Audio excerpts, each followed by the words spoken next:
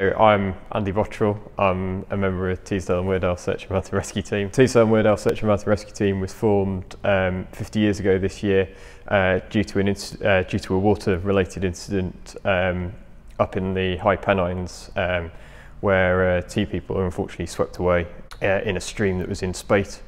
Um, although we've been having a lovely hot summer this year and a lot of the stream levels are down, our riverbanks and riversides can still be a dangerous area. Uh, so we get involved in searches for missing people and um, uh, and rescuing people who've injured themselves. And County Durham has got a lot of big rivers uh, that run through it, so a lot of our incidents involve being in or around water in in some respect.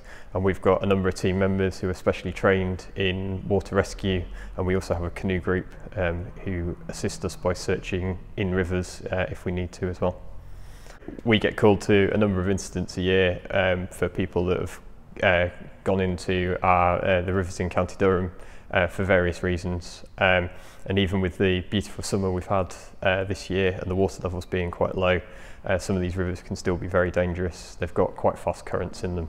Our tip is that people should never underestimate uh, quite how dangerous some of our fast moving rivers can be.